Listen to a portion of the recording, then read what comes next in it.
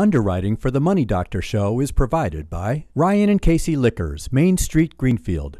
Exploring the world one glass at a time. West County Equipment Rental of Shelburne. Daily, weekly, monthly rentals. 625 6463 or on the web at westcountyequipment.com. The Franklin County Community Development Corporation. Growing sustainable businesses and communities since 1979 www.fccdc.org. Weld Communications, Marketing and Publicity, helping businesses spread the word in the Pioneer Valley and beyond. www.weldwords.com. There's a better life if I could be debt free. But all my money is a mystery. I was feeling overwhelmed and it was wearing thin doctor's in. Oh, the doctor's in, the doctor's in. She got the right prescription to help you win. Oh, the doctor's in, the money doctor's in. Hello, I'm Dr. Frances Rahaim, president of Power Down Debt, a positive debt management company. Welcome to the Money Doctor Show. My guest today is Adam Harrington, retired NBA player, basketball player, obviously, NBA, and a philanthropist, mentor, role model. We could, you don't have enough titles for me to get in the show. Thank you for being here. Thanks for having me. I'm so excited to be here. Yeah, you're just excited in general. Look at you. That's the sportsman in you, right? It is, it is. So I need to go back and get a little bit of background about you. Um, but as I was mentioning when we were off camera, most of our shows have something to do with putting someone who has an interesting story in the guest seat and that I think might inspire someone in the future. So oddly enough, even though I want to get some basketball background about you, it isn't that that inspired us to have you on the show so much as it is what you're doing now. Yeah. So um, tell me a little bit about, let's build the background about what it's like to be Adam Harrington. You're 13 years old, you play varsity basketball. I did. I Talk did. to I, me about I that. grew up in little small Bernardston right here, neighboring to Greenfield. Um, and basketball was my sport. I loved it. Um, I was engulfed in it. I dreamed of playing in the NBA, and I went to locally here to Pioneer Valley Regional School, played for both Perry Messer, who's coaching at Northampton now, and Scott Thayer, who coaches at Greenfield High School, Mm-hmm. um, were two of my mentors and coaches. And yeah, I got to play varsity as an eighth grade and kind of build up and um, had a really good high school career. Um, you know, played in Yeah. All-American games and things like that. Went on to get a full scholarship to play Division One basketball. You know, one of my short-term dreams was to play in the ACC. And coming from this area, a lot of people laughed and thought the skinny white kid from, you know. But like always, I, I dreamed big. You showed and them, and yeah. and I, I loved it. And I connected myself with the right people, and we were able to make that happen. So, and then from there, I went on to play in the NBA for a year and a half, and then I played for seven and a half years elsewhere, so nine years total around the world. I played in six different countries. Yeah. Um, until about three years ago, I just recently retired and moved on to the next chapter. Okay, so a really a nice high school career. 24, 2,347 points. I did, That's- yes. For Yeah. those of us doing the math, at two points a basket, which I know is Yeah. not your specialty, three pointers is your specialty. That's 1,200 baskets almost. That's insane. Yeah, we had a, but I mean, with that being said, we had an unbelievable team. We Yeah. had really good coaches. I mean, we won back-to-back state championships. I lost again in my senior year. Um, we had five other people score a thousand points in our program during that year. Um, we were really good. We had something really special, and I was, you know, I'm so grateful that I was able to be a part of it. And we all worked together. And yeah, scoring was my thing, and leading, Yeah. and, and things like that. But yeah, I loved it, and it was it was such a unique opportunity and such a unique situation because being from a small school, five towns make up your school, and what we what we were able to accomplish, and we literally, I mean, I firmly believe we helped inspire a generation. Uh, um, you know, we did a lot of things. The community came together. I can just remember all those parts. Which, when you get old, older like I'm getting, that's what you remember. Like Yeah. the, the the arena or the sorry the gymnasium being sold out for the you know an hour before the JV game to watch the varsity game and, and things like that and the town coming together and the dinners and the money that was raised to build the new school you know it's- you know I didn't get to step foot in the brand new school when I was there but we you know not saying that bad but just being a part of all that as we grew Sure. and there's a new Bernardston Elementary School and so many things have changed it's it's exciting to, to have been a part of that So that um, being involved in community bug really got you at a young age. yeah Not everybody would see it like that. No, you wouldn't. You know, like I always, you know, try to. And one of my daily prayers is you want. I wanted to have a giving heart. You know, some people always you give in different ways. You know, and Yes. uh, sometimes you're not always giving the right way. Um, but you know, especially when you're younger and things like that. But I, I've always wanted to do that. You know, through the basketball, always training kids for free and working with kids and working camps and and things like that. And um, and I've been very fortunate that uh, after I finished, decided to finish playing basketball, that I came into some opportunities where I could continue to give in ways and, and start to see it. And and I know what people did for me to not only to accomplish my dreams, but for all the people around me, all my teammates, all my friends, and in the community. As I grew up, I remember those important people that helped us do certain things and made things available to us. And I mean, I would love to be a part of returning that for, for the next generation. Of course, I have a young son who's six and one that's one. And um, Wow. so it's exciting. Favorite mentor? When you're talking, you're so grateful about all the people that helped you, it, and it just made me think: Is there somebody in particular that stood out in your life as a role model for you? I mean, locally it was Scott Thayer, who's now the varsity coach at at at, at uh, Greenfield. I mean, there is no, I mean, there was a variety of people, um, but Scott, you know, he was my age, literally. So what I'm doing for kids now, Scotty did for me. And uh, so he was about 32, and I was 16, 17, 18. I mean, I knew Scotty from when I was 12, but I mean, and he was one of my best friend. He would come over for school. We'd play basketball all day long. I would ride my would? bike to Northfield. uh, He would beat me. I would ride my back back Bernardston's, crying the whole way. He'd be driving in the car next to me. You're gonna come back and play. We're going up there five and ten by Pioneer, and I turn around and go back. And I just remember all the battles, all the tears, all the joy, and and you know we were able to accomplish things. But I'll I'll never forget. You know I sometimes go back through some of the letters and things he wrote me, and and we went through it, and it's it, it was it was a great time, and he was extremely close with our whole family, extremely close with my sister and mom and everybody. So that's that's somebody that uh, really helped me. and Changed your life. It changed my life, Right. and you know we're still great friends to this day. So You know what's fascinating to me about that is you didn't say he let me have my way. He always let me win. You didn't say that at all. He beat your butt. Oh, he sure did, and Yeah. and now my six-year-old son Jaden is not too happy about it because not only will I not let him win in basketball, but he doesn't beat me in Uno. He doesn't beat me in anything. But no, he said you'll win one day, but you'll earn it. You That's know? and- right. but it was great. Like I said, I encourage people now. I always played against older kids, and Yeah. you know I got in situations that weren't comfortable for me. You know, and I really got out of my comfort zone. And Mm-hmm. Right. and I think it's um, almost the lost thing this this day and age. I mean, I think a lot of families, man, you're always trying to find the perfect situation, and you're trying to control Right. it, and it, with sports and in general with schools and things like that. But I was just so happy that my parents found something that they believed in, and they dropped me off. Yes. They dropped me off, and Yes. they they did, you know, they parented from from the sideline, and I'm Right. still thank my mom and dad to the to this day that they did find the right situation, and, and you try to find the right situation, but there's times you eventually have to do it, Right. and you have to trust it. That's And- right. I mean, I'm sure they were careful Yeah. about where they were dropping you. and they- Exactly. They, had done their research, and- but but then step back and let the kid grow. right? Absolutely, and Right. you know, you you try to connect yourself with the right people, and Yeah. and things will, the good things will happen. Okay, so you come from Bernardston, Mass, tiny little hamlet of a town, right? Um, you go, you play varsity at age 13. You're essentially a basketball phenom, 1998 Gatorade Player of the Year, Basketball Player of the Year. The, the accolades go on and on and on. You leave Bernardston, Mass, and you go play in the NBA.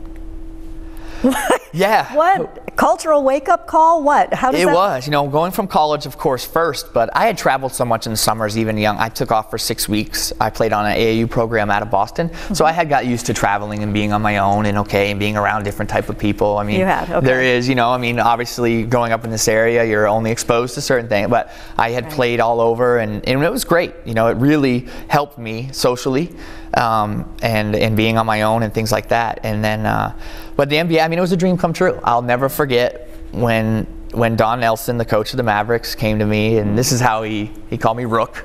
Yeah. He said, "Hey Rook, I think your bank account's going to be a little bigger." That's all he said to me. He didn't say I made it. He said, I, "You know." So. I took it like, "Okay, I got a check coming," and I remember running up the stairs, getting on my cell phone, and my sister was the first person I called, and then of course I called my mom. But you know, it was you know it was a dream. Whether I mean uh, my NBA career was not 15 years and or five years, um, Right. but um, I made it. You know what I mean? That's one Oh, thing yeah. I'll always be able to, you know what I mean? And, Nobody and can we don't go that. around talking about, but it's like, Yep. I mean, dreams do come true, and I and I made it, and it's something that nobody can ever take away from you, and and it's great. And then I, the way and what I did to get to that point, I need to use in other things, not in my, in my parenting, in my marriage, in my Right. next things. You know, you take those same qualities, those same principles. That's I think that's what people say when they talk about you know get your kids involved in sports because there's so much they gain out of it besides the energy and the exercise and all. You really gain uh, uh, some skills there that you might not have otherwise. Yeah. It's not that sports is the only route to do that, but involved in music, involved in community, involved some way other than just being inward all the time. Absolutely. And learn how to interact with other people and what it's like to care about somebody else's feelings or help someone in a selfless fashion. All of that. It is Um, life skills, and I think it's very yeah. important, especially in this day and age that a lot of sports are getting cut and user fees are raised and budgets, and it it hurts my heart to see Yeah, that type of things yeah. happen because I can remember the sense of family, and some kids that might be the only family they have.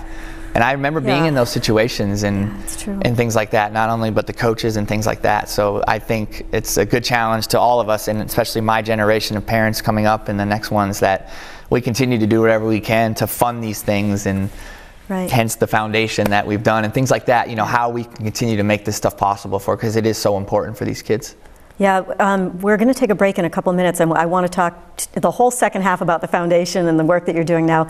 Um, but I want to get a little tiny bit of uh, information about between high school and the NBA. You hit North Carolina State University, and there's some things like that in there. Tell me about that. yeah so i took my life. freshman i went to the acc so i signed with north carolina state Mm-hmm. um, out of high school when i went and was freshman of the year led the team's first freshman ever to lead the team in scoring at nc state had a really good year typical freshman year up and down Yep. peaks and valleys and then the reality of the nba really started to come into play like i had some big games and you had some scouts talking to you and things like that. And um, but also with that being said, it was it was a tough year for us as a team. You know, the the atmosphere had changed a little bit, and I went from being a gung ho little white guy, all excited all the time, to in a gym all the time, to the locker room had kind of gotten to me, and I was chiming in, and I'm complaining. And one day I looked at myself and I said, Adam, this isn't you, and this isn't, you know. So I decided that I might want to transfer. So I ended up transferring. I took my five visits um, to schools again, and I ended up transferring to Auburn University and and played there two years and, and played very well as well. And and uh, and then from there I moved on and, and to the NBA. But so it, I mean I, I got to play in the ACC and the SEC for basketball, which are two of the top conferences. Right. And at the time, the ACC was uh, it was a lot better than it is now. It was phenomenal, and um, and I got to play against and made some friends for life, and with those coaches and stuff. And and I often tell kids now that are going through college, it's the it's, a, it's such a great time. Don't don't waste it, or you know enjoy it. Some of the best friends you'll ever have in your life are ones that you'll make in college, and Yeah. you'll stay connected, and you're building your network, and and um, and it all came true for me now. As you know, fast forward you know 10 12 15 years later when i'm in a different part of my life and i'm calling back on some of those networks and connections you really can judge what they meant to you and how your impression was on them and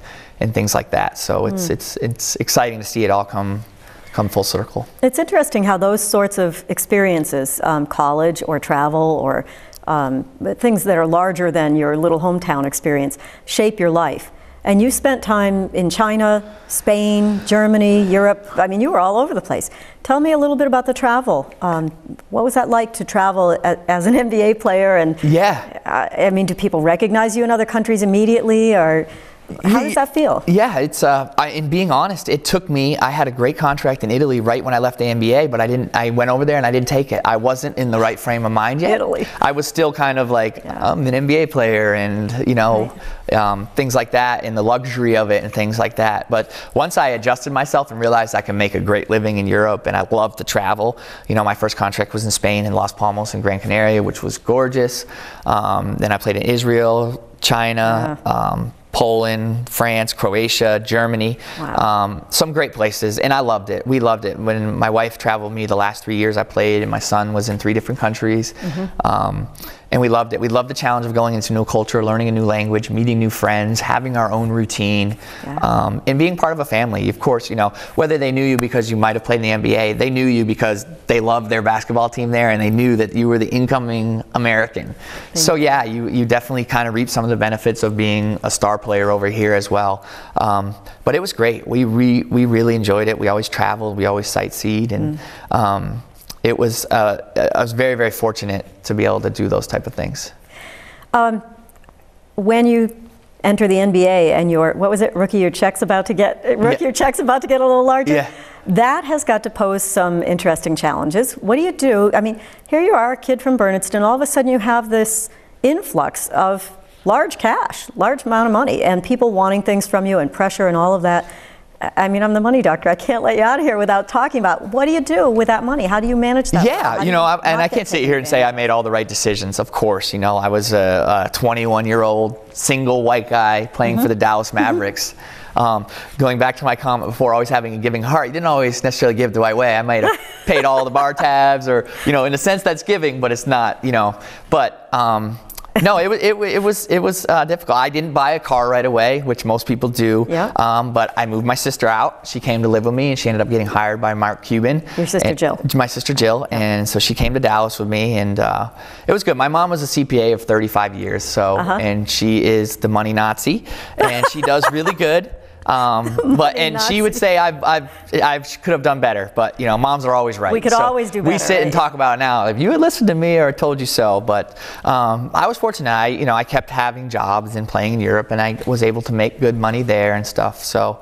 Um, I, am very grateful that basketball allowed me to travel and see the world for essentially free, but also supported my family as we grew and, and then ultimately as we made a transition into our next aspect of life. Having money and coming from you know, a smaller town and all that. You've experienced both ends of the spectrum. You're now doing something incredible with work for the, uh, with the foundation that is named after your sister Jill. So when we come back, I want to talk about all of that. But I'm sure this has given you a frame of reference that's different than you might have had without your background. Absolutely. All right. We'll be back in a moment. Underwriting for the Money Doctor Show is provided by Ryan and Casey Liquors, Main Street, Greenfield.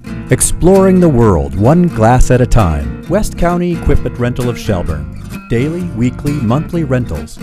625 6463 or on the web at westcountyequipment.com. The Franklin County Community Development Corporation.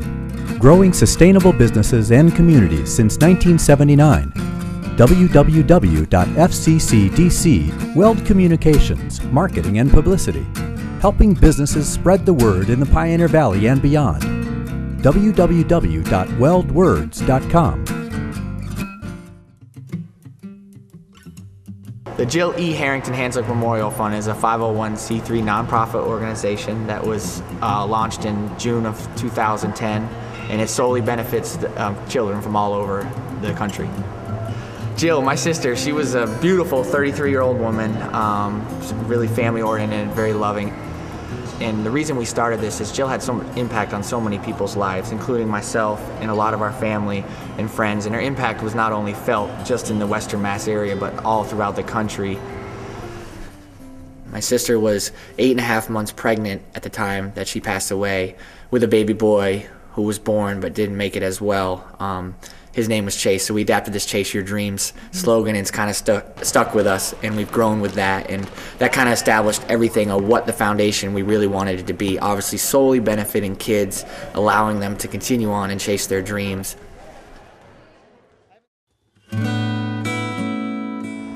So the Jill E. Harrington Hanslick Memorial Fund has given back several grants since we started in 2010 um, to individuals, to groups, to organizations, to schools, um, ranging from sports camps in the summer, cheerleading groups traveling for competitions, school field trips, model congress, playground construction. Um, we've also just recently granted a couple um, music departments with new instruments, and it ranges from sports to educational stuff to performing arts. We've helped uh, special needs children with a, through a farming connection program. We recently received a grant for scholarships for two um, young people to go to Farming Connections. Both young men have had um, multiple breakthroughs while in their therapies there, and they've bonded with the animals, and they um, have basically a place where they go that they know they're happy and they're welcome. It's very hard to get funding for these programs, and it means the world to us.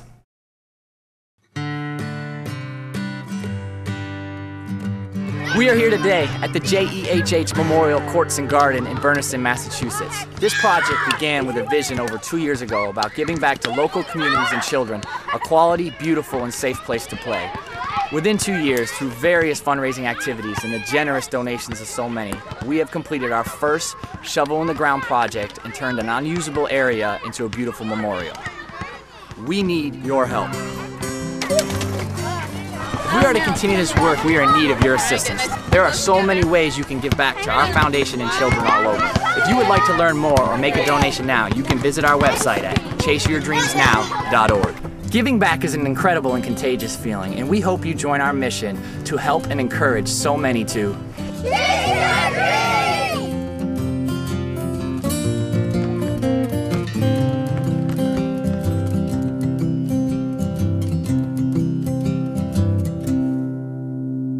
Tell us about your sister Jill. My sister was four years older than me. Yeah. Um, and quickly, she grew up, loved basketball. Probably loved basketball more than I did. She just couldn't play. Um, to give a kind of a quick story, she went on to play at York College, which is a small Division three school in Pennsylvania. Mm-hmm. And she called back to my mom. She's like, "Mom, I'm working my way down the bench. I'm actually holding the clipboard and the towels now." You know, she's like, She "I had a think-" sense of humor, though. She did. She did. She's like, "I think I'm going to come back." She so she transferred back to UMass Amherst into uh, sports management. And Good she was able to see me play in my senior. You know, she was my biggest fan, biggest supporter. Um, so it was great. I loved having her back. And uh, and then she always had a dream of, of being involved in basketball. So she worked locally for indoor action for years. And then she was kind of in, in, in limbo of what she's to do. And I was down at Auburn. Um, in college, and I said, "Hey, why don't you come down? You can do some stuff for the basketball program." And she worked at Victoria's Secret just to make ends meet. And then that year, I went on to play at Dallas. And of course, the first person when I made it, I said, "I'm bringing you out here." So she came and lived with me, and um, and then Mark Cuban, then- right, yeah, then- who I sat next to on the plane when we traveled. I was just, you know, becoming good friends with him. Yeah. Like, hey, my sister, you know, I was like, hey, let me meet her. Loved her, hired her as a personal assistant, Perfect. and uh, she stayed there for three years, and then she moved from there to New York City to work for the NBA. So she was in events management.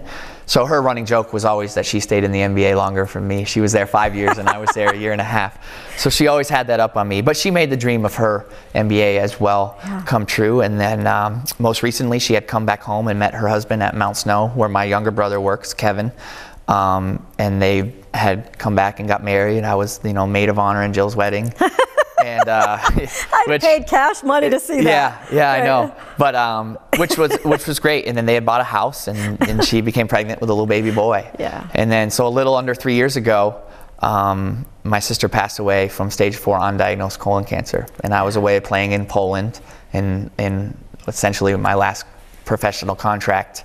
Um, and then we came home and we were able to uh, do the services and stuff and then immediately i decided that you know foundation was on my heart and i had to beg and plead and get my mom on board you know i think everybody in the audience can understand why Yes. it wasn't because the Oh. reason they might be thinking it was No. you know but it ultimately the best one of the best things ever was about two years ago my mom said thank you for doing it which was Oh. great you know she Oh. didn't want to at first because of course i can only imagine i have two kids um, but I mean, the things that we've been able to do in Jill's name and honor and keep it alive, and she sees the responses of people. I think it's really helped her.